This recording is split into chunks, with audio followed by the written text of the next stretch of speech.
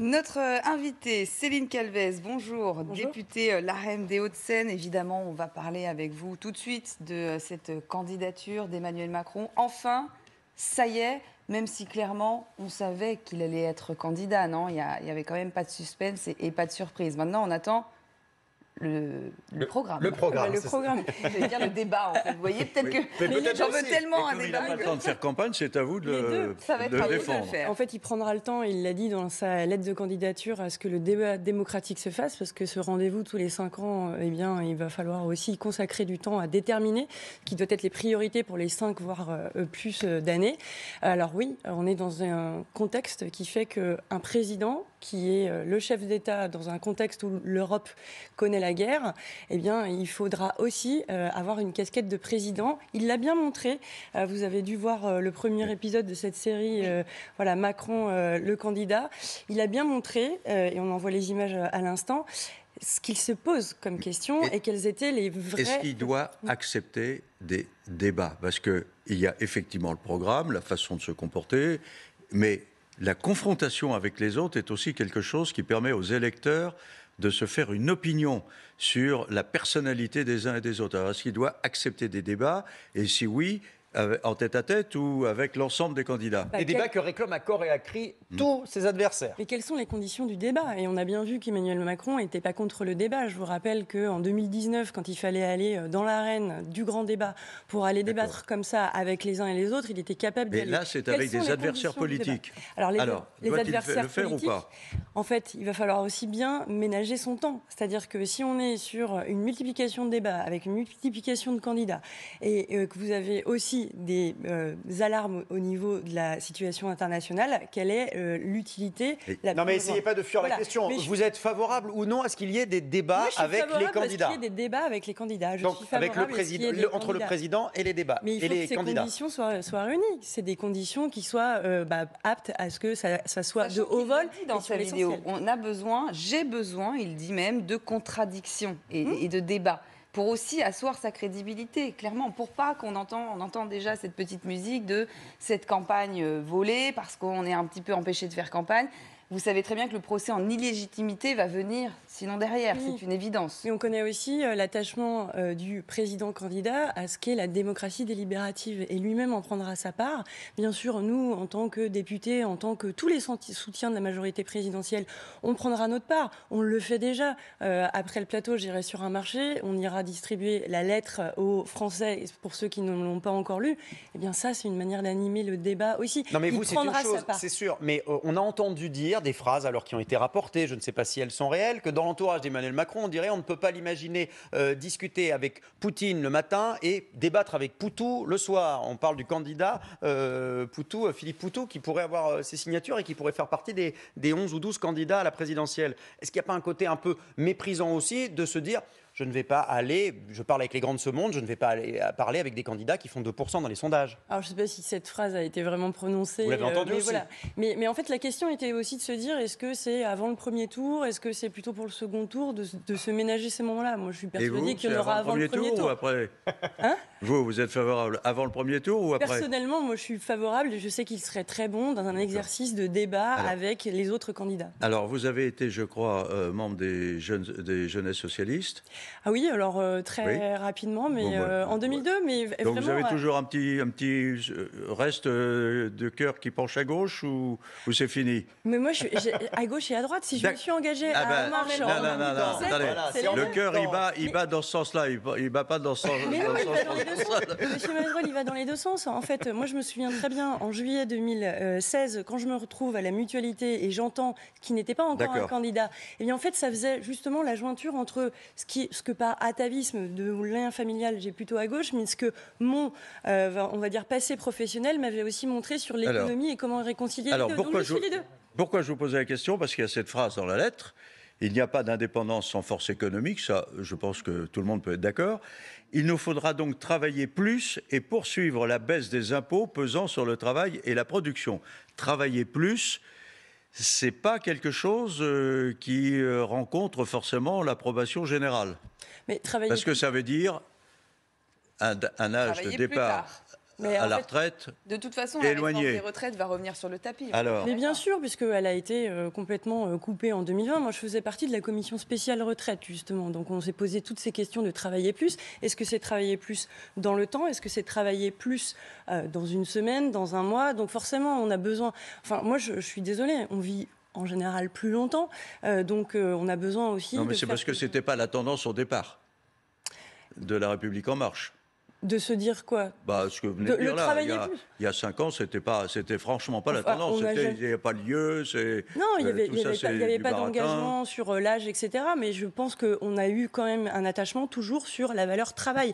En 2017, on distribuait euh, par exemple des tracts qui étaient le candidat du travail. et le candidat du travail, c'est le mieux et c'est sans doute plus aussi. Alors, n'allons pas si loin que ça, mais il n'y a, a, pas si longtemps, quand la, la, la réforme des retraites était encore sur la table, il y a eu une confrontation avec Édouard Philippe Philippe, à l'époque Premier ministre, qui parlait de l'âge pivot. L'âge pivot, ça voulait dire on va partir un petit peu plus tard.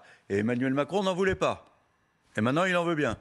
Bah, maintenant, je pense surtout qu'il a compris que ça allait faire partie de son deuxième quinquennat, qu'on espère euh, justement qu'il aura. Alors, y, aura-t-il, pardon, y aura-t-il un projet clair, euh, une proposition claire dans le programme sur la réforme des retraites? Je suis suis pas certaine qu'il y, ait une proposition claire. Moi, je pense que même dans la méthode euh, de ce que propose et ce qu'a appris aussi tout au long du quinquennat euh, le président, c'est de dire qu'il va falloir faire avec les partenaires sociaux et à faire les Français. En fait, on va remettre euh, l'ouvrage sur le métier, c'est-à-dire que la façon dont on a, pu l'aborder en 2019 et 2020, eh bien, notre rapport à la société, notre rapport intergénérationnel aussi a été chamboulé par la crise sanitaire. Donc, et je ne peux pas vous dire aujourd'hui si on aura un, cadre euh, de euh, ce débat et donc des limites définies. Alors au-delà du débat du programme, parce que c'est vrai que c'est ce que les Français quand même attendent concrètement. Est-ce qu'il faut s'attendre à ce que tous les vendredis, quand il va donc euh, diffuser ce nouvel épisode donc de cette mini-série dont on voit, on le met en scène, en tout cas il se met en scène cette série, c'est là qu'il va donner les grandes lignes et qu'il donnera ses propositions, parce qu'il faut quand même clairement, on ne va pas pouvoir miser sur la démocratie, la souveraineté par rapport à la guerre en Ukraine. Certes, les gens, les Français en tout cas, se sentent concernés. Mais il y a autre chose, il y a le pouvoir d'achat, il y a la fiscalité, il y a les retraites, comme disait Olivier Mazerolle. Est-ce que là, on aura vraiment un cadre et des propositions? 35 jours, il y aura ces épisodes, il va y avoir aussi des déplacements, euh, il va y avoir aussi sans doute des meetings. Alors pas euh, le premier qui est annulé, il peut y avoir un meeting à Marseille. il peut y en avoir, un prochainement. Ah, euh, il pourrait y en avoir un prochainement. Vous avez des informations sur la tenue d'un meeting rien, Ça nous intéresse. Je peux rien, rien Ou des déplacements, parce que c'est compliqué avec la situation en ce moment en Ukraine. Il faut se dire que des déplacements sont prévus, mais des déplacements sont amovibles. Déplacements que de thématiques, c'est ce que vous thématiques. Et donc, il faut sous réserve de la situation internationale, c'est ce que bah, vous me dites. En fait, enfin très clairement et vous le voyez bien aussi dans votre métier de journaliste. Vous avez des agendas qui sont. On prévoit des choses et parfois ça ne se passe pas exactement, comme ça. Exactement, ça se prévoit pas comme ça, ça ne se présente pas. Donc en fait, moi je pense qu'on ne pourra pas être dans un niveau de détail comme euh, ça l'avait été en 2017 avec un, programme qui avait été euh, présenté le 12 mars avec toute une. Mais par contre, de donner des vrais repères et de se dire que c'est une manière aussi bien de montrer comment le bilan du premier quinquennat est transformé, ou alors au contraire de se dire bah là c'est quelque chose sur lequel on n'a pas assez euh, travailler et on vous propose ce cadre, oui, il y en aura. On ne va pas non plus simplement se dire, bah voilà, comme on n'a pas eu le temps euh, d'en parler, on va mettre aucun cadre et on décide tout. Non, parce qu'on sait très bien, et on l'a vu dès 2017, qu'on a besoin de faire des réformes dès le début. On l'a fait en 2017. Il y a parfois des choses sur lesquelles on s'est dit, ah, on aurait pu aller un petit peu plus vite par exemple les retraites, qu'on arrive en 2019-2020, peut-être que si nous l'avions fait avant, ça aurait été bien. On en a fait beaucoup et on sait qu'on ne va pas pouvoir se dire, on verra une fois que Emmanuel Macron euh, soit, sera élu euh, ce qu'on veut. Non, il va falloir dès mmh. euh, le début mettre en place ces réformes. Il y a une vraie question quand même que les Français se posent, c'est que certains candidats affirment qu'Emmanuel Macron utiliserait la situation internationale, justement, en profiterait pour ne pas faire campagne et ne pas avancer finalement de grosses propositions pour ne se, risquer de se fâcher avec personne en disant que sa stature de chef d'État, de chef de guerre, serait suffisante et qu'il y aurait une sorte de réflexe euh, à réélire Emmanuel Macron parce qu'on ne change pas le chef de guerre au milieu d'une bataille. Bien, le fait que le chef d'État soit dans cette situation internationale, on a pu parler d'effet drapeau, euh, mais justement, il ne se part pas simplement euh, de cet effet drapeau puisqu'il considère, et en faisant cet acte de candidature, qu'il n'y a pas simplement la situation internationale et ses répercussions sur les Français, mais qu'il y a aussi une envie de proposer et de euh, justement ce temps démocratique de ne pas l'escamoter. Donc on reconnaît très bien, et, je pense que euh, l'étude de l'opinion des Français le prouve, euh, on a cette situation internationale qui fait qu'on a envie de faire confiance dans cette période de, de, doute et de tension à celui qui aujourd'hui nous a prouvé encore le 2 mars par son discours qu'il était là et qu'il était là pour les Français. et, et c'est important de le faire, mais on n'est pas du tout en train de se draper derrière cette situation internationale. Olivier, allez-y. On lui a reproché aussi parfois de ne pas partager ou de ne pas connaître suffisamment l'âme française. Et, euh, il a dit, par exemple, il faut déconstruire notre histoire, il n'y a pas de culture française.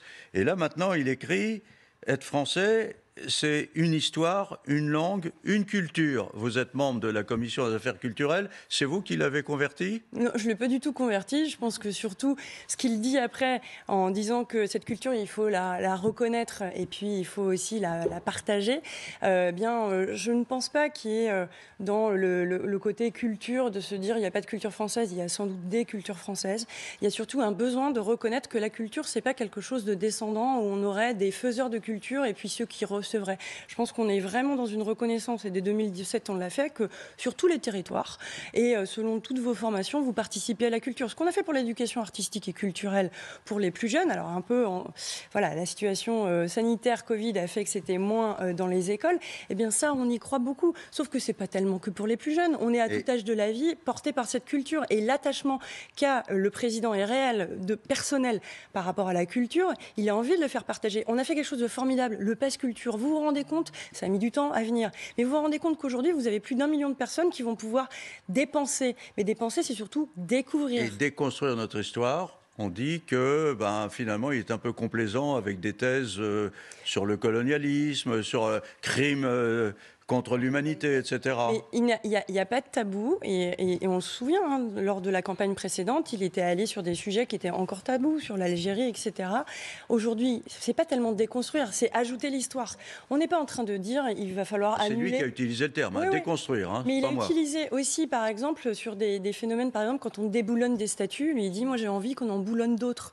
En fait, l'idée c'est d'ajouter, de regarder, d'ajouter le regard sur des situations. C'est pas uniquement ce qu'il y a dans nos livres d'histoire. Et effectivement, nos livres d'histoire ne sont pas les mêmes aujourd'hui que ce qu'on y racontait il y a 50 ans ou il y a 60 ans. Euh, mais par contre, il va falloir reconnaître qu'on peut avoir différents points de vue, que chacun peut y participer et qu'il n'y aurait pas une culture ou une histoire euh, officielle. Chacun, on y contribue. Et, et si aujourd'hui, dans la lettre de candidature, il y a cette défense d'une manière singulière, française, européenne, de pouvoir partager la culture et l'histoire, c'est dans ce cadre-là, eh bien, moi, je pense que c'est très important et qu'on aura, même si la campagne est courte, l'occasion de l'aborder très largement. Et l'histoire sert tout de même aujourd'hui, Emmanuel Macron, on en parlait tout de même, son rôle de, chef de guerre. Si on regarde notre sondage, chaque jour, on, publie un, sondage qui est réalisé par IFOP Fiducial. 29%. Il a pris 3-4 euh, points, me semble-t-il, en, une semaine. Euh, il se stabilise à 29%, largement, largement, en tout cas dans les sondages. Encore une fois, on le rappelle, photographie à l'instant T, ce n'est pas forcément ce qui va se passer exactement dans les urnes. Enfin là, tout de même, 29%, euh, même Marine Le Pen, 17% derrière. Les gens ont peut-être envie de tendance à se dire c'est plié. Alors d'ailleurs, dans la vidéo qu'il a fait, le réalisateur, le journaliste qui est avec lui, lui pose la question c'est plié ne peut pas dire oui, forcément. Bon, faut, être honnête que là, l'avance est large. Mais l'avance est large, mais vous avez raison, ce n'est pas plié. Et moi, euh, autant, j'entends des personnes qui hésitaient avec d'autres candidats ou candidates et disent, franchement, euh, ce président, il a du cran, finalement, dès le premier tour, j'ai voté pour lui. Mais j'entends aussi des gens qui disent, c'est plié, c'est bon, euh, votre candidat sera élu. Et, il ne faudrait pas que ça soit facteur de L'abstention, d'ailleurs, euh, quand on voit aussi hein, dans les instituts de sondage, si on parle, et nous, en journalistes, on essaie en tout cas de discuter avec de nombreux Français, on sent bien qu'il peut y avoir un tournant d'ailleurs de certaines personnes, certains Français qui ont toujours voté mais qui cette année n'iront pas. Il y a manque de, un manque de repères tout de même dans, dans cette vie politique aujourd'hui, notamment pour des électeurs de droite ou de gauche. C'est vrai qu'il a un petit peu dispersé les forces politiques c'est compliqué. Et aujourd'hui, peut-être que l'abstention sera très élevée. C'est dur d'aller chercher ces abstentionnistes-là aujourd'hui en plus. Bah, c'est d'autant plus dur quand on dit que le match est plié. Et on se souvient, il y a 20 ans, et on a été beaucoup à être marqué par euh, le match qu'on nous annonçait euh, qui ne s'est pas révélé. Et que finalement, on s'est retrouvé avec Jacques Chirac et, et, Jean-Marie Le Pen. Chirac qui n'a jamais eu lieu. alors que dire à ces Français qui n'y croient plus et qui disent voilà, moi j'ai 40 ans de vie politique, j'en peux plus, droite comme gauche, de toute façon, à chaque fois, elle me raconte des mensonges. Parce que certains Français tiennent ce discours. Hein. mais oui, mais. mais, mais des gens qui ont toujours voté. bien vu. Mais des gens qui ont toujours voté, moi j'invite à ce qu'ils le fassent. Parce que forcément, euh, en fait, si on veut faire partie de l'histoire, et, ça rejoint ce que je disais, c'est qu'on a tous euh, un rôle à jouer dans la culture de notre pays ou dans notre histoire, et eh bien on le fait aussi par le droit de vote. Et si on ne va pas voter et si on se plaint, ben, je veux dire, on n'a plus le droit de se plaindre. Ça peut être euh, aussi une forme de, l'abstention, peut aussi être un une forme de, de contestation, de, bien sûr. contestataire. Et alors c'est pour mm. ça qu'il faut aussi ouvrir des chantiers euh, bien plus euh, larges sur la façon. On l'a vu là avec le système de parrainage, système de parrainage des candidats. On s'est dit mais finalement est-ce que ce sont les élus simplement qui devraient parrainer? Pourquoi il n'y aurait pas une obligation de parrainage pour ces élus? On est arrivé au bout d'un système d'une certaine manière. Bah en fait on a bien vu là qu'il n'y avait pas forcément. Oui, ça, quand François Bayrou finit par être le juge pour distribuer les voix pour donner aux forces politiques l'existence dont elles ont besoin. C'est un peu particulier. J'avais envie de vous poser concernant justement cette euh, mobilisation, c'est est-ce que vous avez peur aussi que les électeurs plutôt favorables à Emmanuel Macron, s'ils ont d'autres choses à faire ce fameux dimanche, se disent bon, il est déjà euh, qualifié pour euh, le deuxième tour, donc j'ai même pas la peine, j'ai même pas besoin d'y aller, c'est fait déjà. C'est ça qui, il y a une crainte aussi de votre part? C'est comme ça que Jospin s'est pas retrouvé au deuxième. Oui, c'est ça. Moi, c'est complètement ça. Et à chaque fois que quelqu'un me dit c'est bon, c'est plié, je fais mais tu vas voter? Parce que justement, il y a un peu le côté, ça va se faire tout seul. En plus, c'est le printemps, c'est sympa. Genre, moi, j'irai au deuxième tour, et puis voilà. Il faut le faire, et quand on ne peut pas le faire, on fait une procuration. Il y a des systèmes de procuration qui sont mis en place. Il faut le faire, et j'en profite pour rappeler aussi le fait qu'il va falloir tenir les bureaux de vote. Donc, on a besoin des assesseurs aussi. On a besoin. Ah, vous parlez euh, là, des, euh, voilà, des bénévoles qui s'occupent de faire vivre la démocratie finalement et oui, et c'est très important. Et, voilà, il y aura deux dimanches, deux dimanches au mois d'avril où ils vont se mobiliser. Et donc, en tant qu'électeur, quand on a la chance d'être en démocratie avec un droit de vote, eh bien, on l'exerce. Alors, euh, il y a des ralliements de droite et de gauche là, à l'heure actuelle chez Emmanuel Macron, mais quand même, François Rebsamen, le maire de Dijon, qui a été longtemps le numéro 2 du Parti socialiste, hein, dit on va quand même pas laisser Macron tout seul avec la droite. Est-ce qu'il y a cette hantise de voir Édouard Philippe là euh, prendre une importance avec ses partisans très grande dans la future majorité? Bah, Antise, nous, enfin depuis septembre, en plus, Edouard Philippe a été super clair. Et, et puis, non, non, je parle de la suite, moi. Hein. Oui, mais de la suite. Mais en fait, il soutient, il soutient Emmanuel Macron. Euh, moi, je me réjouis qu'il y ait des soutiens qui viennent de euh, partis euh, historiques de droite et de gauche. On ne va pas commencer non plus à compter. Alors, on en aurait tant qui viennent de la gauche et tant qui viennent de la droite. À partir du moment où ça s'ajoute, c'est très bien. Bah, pendant longtemps, on a dit qu'il y avait un problème du côté de la jambe gauche d'Emmanuel Macron, quand même. Mais moi, je l'ai beaucoup entendu. Il boitait un petit peu. Mais il, boitait. travaillait plus, tout ça, c'est pas oui, mais en fait, c'est pas vraiment à gauche, quoi. Oui, mais, qu'est-ce qui est à gauche Le passe culture, moi, je pense que c'est particulièrement à gauche. Le fait d'avoir créé les CP et CE1 dédoublés, euh, qui permet justement dans les quartiers politiques de la ville d'avoir davantage de moyens et de donner un bon départ, eh bien, c'est profondément de gauche. Le fait que la prime d'activité, on la revalorise, qui permet d'avoir un meilleur pouvoir d'achat pour ceux qui travaillent temporairement, enfin en temps partiel, et on, on a permis en 2020 qu'ils soient plus nombreux et qu'ils touchent plus.